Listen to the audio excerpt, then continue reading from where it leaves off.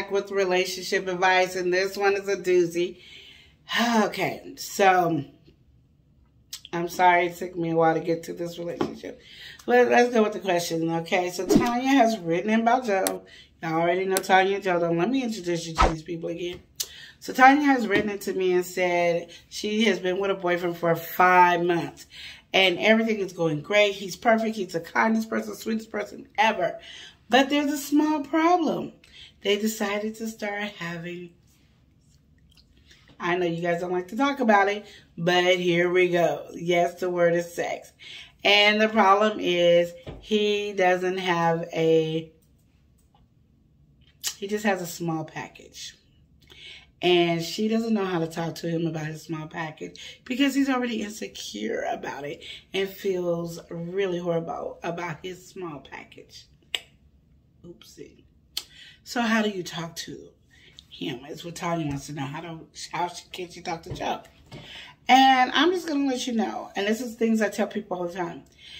Don't have sex if you can't talk about it. like really, you have to be able to be open-minded and talking. These are situations that really are like a difficult situation that can hinder a relationship. It doesn't all the way hinder a relationship, but it can hinder a relationship. So you need to be able to talk freely about things. And things like the size of a package is to me my opinion only. Do not write down about that is not true. I've been with this and I'm telling you my opinion. I feel like you can work with anything. I don't care what size the package is. You can work with it. That's my opinion. It's just that some people don't take the time to learn to work it because of the simple fact that a woman's area is um, tender everywhere. And it has ways that you can satisfy internally. It's just that you're going to have to probably do some exercise, put her in a certain position, not when it's uncomfortable, but put her in a certain position to do it. Women, you should know your body well enough to know what positions that really work. So for any size to help in that place. Now, I know there's people that might be so small that, but I don't know any, so I can't talk to you about that. But I can be as real as I can be is there's way to satisfy your woman and there's ways to satisfy your man. And if you don't take the time to learn and educate yourself, then it's really not going to help you in that area.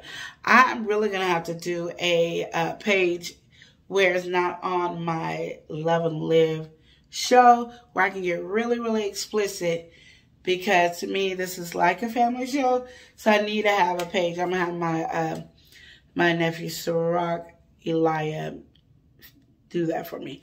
Because I really want to get really specific on things like this to help. Because they're really, really important things and they're really, really details in there. But understand there's ways you can educate yourself. There's exercise you can do to get yourself limber. There's foods that get you in positions and not positions, but that will help you give the energy so you can do these positions. Because sometimes you can't do missionary style. Sometimes you can't be vanilla when you don't have a big package or a medium package and you have a baby size package or a small package. Sometimes you got to be creative and it's all right. And you don't have to feel so confident because I've heard and I've talked to lots of women that have dealt with small packages and has been very satisfied with the small packages.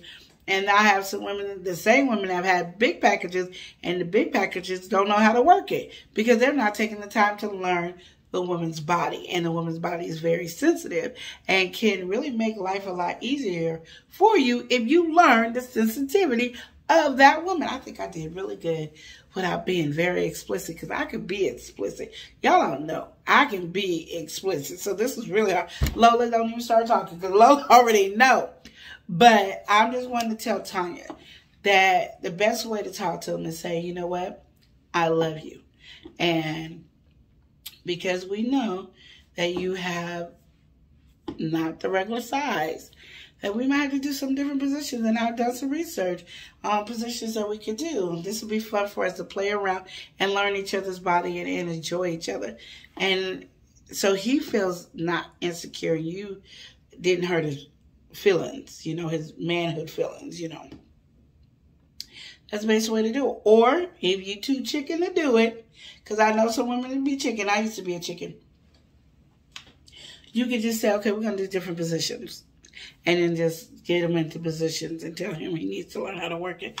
But if the only reason I don't agree with being a chicken is because if you don't explain that he has to learn these things and man, you know, manifest these things into existence, he doesn't know why he's doing this position and he might not be working the position the correct way that he needs to work the position. So that is my advice at this time.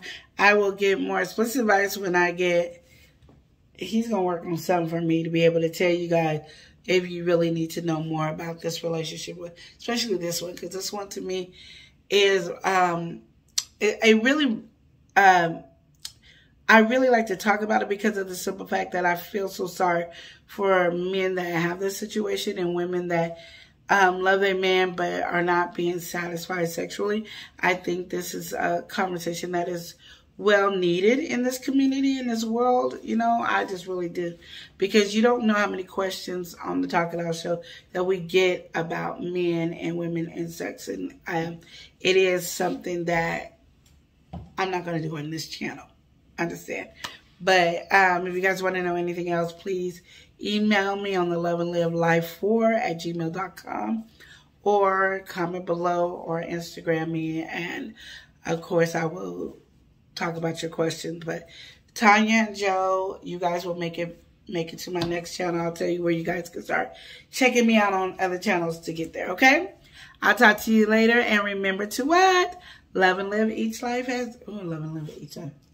Love and live each day as if it were your last. Okay. The love the.